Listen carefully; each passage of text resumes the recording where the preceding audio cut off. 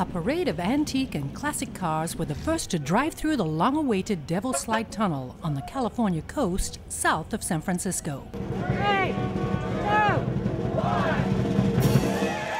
The tunnel's grand opening ceremony, March 25, 2013, follows decades of environmental battles and five years of construction.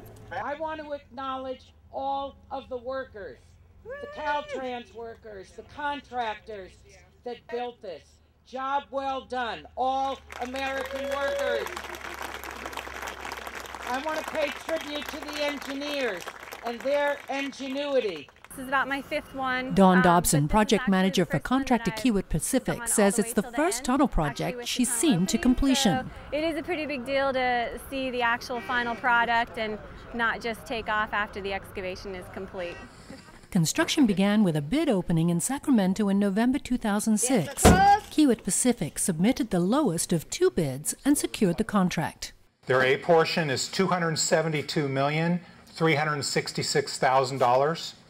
They bid 1,500 working days times $16,900 per day for a B factor of $25,350,000 for a total A plus B of $297,716,000.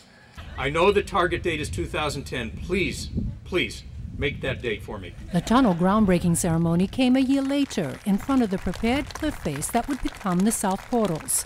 At the time, Caltrans estimated the tunnel would open in late 2010, but ground conditions and progress proved more challenging than expected. There were areas that had, um, you know, significantly more water than we were anticipating. Um, normally, we just did the dewatering at the face. We did put in some wells on the north side, that being the uh, most decomposed ground and with the most expected water, which did make a significant difference. Kiewit excavated the twin tunnels, each 30 feet wide, 22 feet high, and 4,200 feet long, plus the 10 emergency cross passages, using the new Austrian tunneling method, and with sections of drill and blast. To push progress, excavation and installation of the final lining progressed concurrently. It worked out very, very well, especially considering that the excavation did take longer. So it was good to have that jump start on the final lining operations.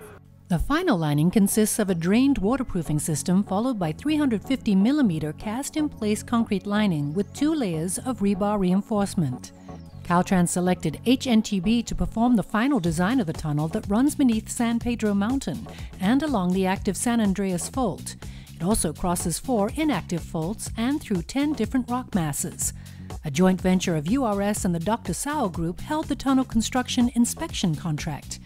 In all, about 420,000 cubic yards or 21,000 truckloads of rock and dirt were excavated.